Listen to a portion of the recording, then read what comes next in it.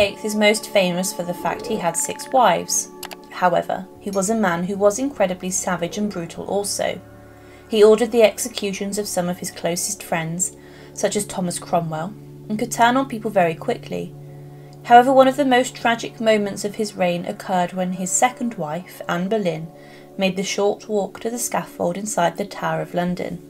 Anne had been sentenced to death for incest, treason, and adultery, and a French swordsman was fetched to take her head from her shoulders. Henry VIII had tasked Cromwell with plotting her downfall, as he became infatuated with Jane Seymour, one of Anne's ladies in waiting, and it's believed the king saw Jane as a woman who could provide him with the son he greatly wished for. But Anne was cast aside. However, during her time inside the tower, it's believed that she sent the king a final letter weeks before she lost her head, which communicated her feelings inside of the tower. This is a poignant last message to her former husband, lover, and the man who believed she would spend the rest of her life with. Anne Boleyn is considered a victim of Henry VIII and Thomas Cromwell, and along with her five other men, including her brother, were sentenced to death. These were executed on Tower Hill, but on the 2nd of May 1536, Anne Boleyn was arrested. Miscarriages and the fact she did not give Henry VIII a son meant that she fell from grace. Anne herself was a controversial figure in Tudor society, and many women regarded her as a homewrecker. It was believed by some that when she was taken to the Tower of London, she may have passed through Traitor's Gate, the infamous entrance from the Thames where many who were accused of treason were brought, but it's more likely that she entered via the Byward Tower, having come off the barge via the Queen's steps, which are there. When she arrived at the tower, she collapsed and demanded to know where her father and her brother were, and also what she was accused of, she had not been tried, but instead was just seized and arrested. The place where she had spent some time awaiting her coronation soon became her site of imprisonment, and it would later become her place of death. On the 6th of May 1536, four days after she arrived at the Tower, it's claimed that she wrote a final letter to her husband, King Henry VIII. In this it shows how she is feeling and how she wants to prove her innocence over any charges and return to her position by the king's side. She wrote, Sir, your grace's displeasure and my imprisonment are things so strange unto me, as what to write or what to excuse, I am altogether ignorant. Whereas you send unto me, willing me to confess a truth, and so obtain your favour by such an one, whom you know to be my ancient professed enemy. I no sooner received this message by him than I rightly convinced your meaning, and if, as you say, confessing a truth indeed may procure my safety, I shall with all willingness and duty perform your demand. But let not your grace ever imagine that your poor wife will ever be brought to acknowledge a fault when not so much as a thought thereof proceeded, and to speak truth, Never prince had wife more loyal in all duty and in all true affection than you have ever found in Anne Boleyn, with which name and place I could willingly have contended myself, if God and your grace's pleasure had been so pleased. Neither did I at any time so far forget myself in my exaltation or received queenship but that I always looked for an alteration, as I now find, for the ground of my preferment being on no surer foundation than your grace's fancy. The least alteration I knew was fit and sufficient to draw that fancy to some other object. You have chosen me from a low estate to be your queen and companion, far beyond my desert or desire. If then you found me worthy of such honour, good your grace, let not any light fancy or bad counsel of mine's enemies withdraw your princely favour from me, neither let that strain, that unworthy stain of a disloyal heart towards your good grace, ever cast so foul a blot on your most dutiful wife, and the infant princess your daughter. Try me, good king, but let me have a lawful trial, and let not my sworn enemies sit as my accusers and judges, Ye let me receive an open trial, for my truth shall fear no open flame.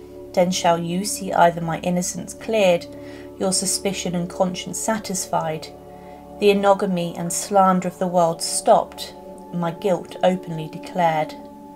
So that whatever God or your many determine of me, your grace may be freed of an open censor, and mine of sense being so lawfully proved, your grace is at liberty, both before God and man, not only to execute worthy punishment on me as an unlawful wife, but to follow your affection, already settled on that party, for whose sake I am now as I am, whose name I could some good while since have pointed unto, your grace being not ignorant of my suspicion therein. But if you have already determined of me, and that not only my death, but an infamous slander, must bring you the enjoying of your desired happiness, then I desire of God that he will pardon your great sin therein, and likewise mine enemies, the instruments thereof, and that he will not call you to strict account of your unprincely and cruel usage of me at his general judgment seat, where both you and myself must shortly appear, and in those whose judgment I doubt not whatsoever the world may think of me, mine innocence shall be openly known and sufficiently cleared. My last and only request shall be that myself may only bear the burden of your grace's displeasure, and that it may not touch the innocent soul of those poor gentlemen whose, as I understand, are likewise in strait imprisonment for my sake. If ever I found favour in your sight, if ever the name of Anne Boleyn hath been pleasing in your ears, then let me obtain this request, and I will so leave to trouble your grace any further, with mine earnest prayers to the Trinity to have your grace in his good keeping, and to direct you in all your actions, from my doleful prison in the Tower, this sixth of May, your most loyal and ever faithful wife, Anne Boleyn. But Anne Boleyn would never hear from her husband again. Henry would not write back, and it's presumed he was too busy at this time with Jane Seymour, who later became wife number three. On the 15th of May, three days after, four men accused with her were tried. Anne and her brother George were tried separately at the Tower of London in front of a jury of 27 peers Anne was clearly going to die for her alleged crimes, which are now considered lies and seditious untruths. The other men and her brother had been found guilty, and Anne was also found guilty. Her marriage was declared null and void, and she was condemned to die.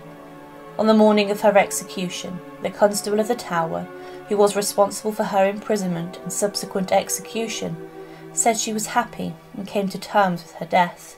He wrote that this morning she sent for me, that I might be with her at such time as she received the good Lord, to the intent I should hear her speak, as touching her innocency always to be clear. And in the writing of this she sent for me, and at my coming she said, Mr. Kingston, I hear I shall not die afore noon, and I am very sorry therefore, for I thought to be dead by this time and past my pain. I told her it should be no pain, it was so little, and then she said, I heard say the executioner was very good, and I have a little neck. And it then put her hands around it, laughing heartily. I have seen many men and also women executed, and that they have been in great sorrow, and to my knowledge this lady has much joy in death. Sir, her almoner is continually with her, and had been since two o'clock after midnight. With one swing of the sword, Anne Boleyn's head was struck off to the shock of the crowd there. But what is captivating is her last letter, and the desperate heartbreak she must have suffered writing it. She continued in it to refer to her husband as your grace, showing the respect she had, and she wished to have a fair trial to clear her name. But Anne Boleyn did not get this. Today she is considered a victim of the king and Cromwell, and a woman who should never have been killed as she committed no crimes. Thank you for watching and to support, please subscribe to her remarkable history. Thank you.